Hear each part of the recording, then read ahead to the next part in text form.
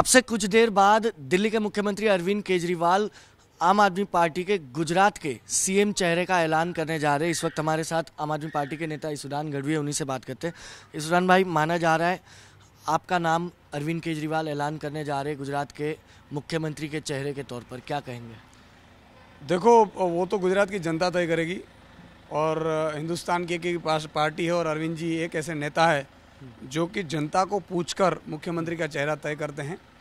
और कोई भी सर्वे में आया मतलब कि हमारे पार्टी में नहीं होगा, पार्टी से बाहर होगा, सामाजिक आगेवान होगा तो भी हम उसको लेकर पार्टी में लाने की कोशिश करेंगे।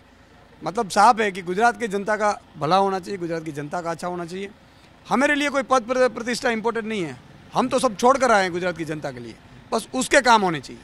बहुत बड़ी चैलेंज होगी अगर आपका नाम ऐलान होता है तो। नरेंद्र भाई, भूपेंद्र भाई, इन सब के सामने आप कैसे मतलब गुजरात की जनता को आप कैसे भरोसा दिलाएँगे कि नहीं, सुदान गढ़वी है जो गुजरात का मुख्यमंत्री अच्छा बन सकता है? नहीं, मैंने कहा कि मैं तो कोई बनने के लिए आ नहीं आया हूँ, मैं तो सब कुछ अपना त्याग करके आया हूँ, छोड़ कर आया हूँ। मुझे तो गुजरात की जनता का भला होना चाहिए।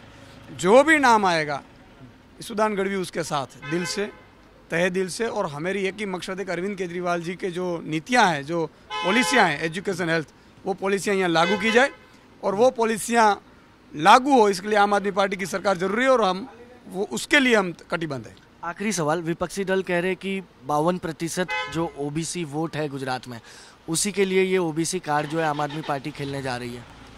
नहीं नहीं ऐसा कुछ नहीं है। आम आदमी पार्टी तो जब आम आदमी पार्टी की एंट्री होती है तब कास्ट ज्ञाति जाति धर्म की छेद उड़ जाते हैं। सिर्फ़ काम की राजनीति चलती है। आप मुझे बताओ अच्छी शिक्षा किसको नहीं चाहिए? अच्छे स्वास्थ्य किसको नहीं चाहिए?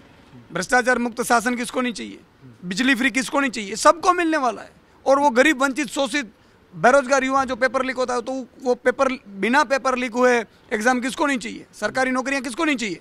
करप्शन खत्म किसको नहीं चाहिए? तो ये सब मुद्दे रहेंगे और उसी मुद्दा पे गुजरात की जनता तय करेगी। धन्यवाद हमसे बातचीत करने के लिए। तो इसरान गढ़वी ने कहा कि आम आदमी पार्टी द्वारा जो भी जिसका भी नाम का ऐलान होगा, वो उसको सपोर्ट करेंगे। लेकिन अभी वो अपने परिवार का आशीर्वाद लेकर रवाना हुए और लगभग लगभग तय हो चुका है।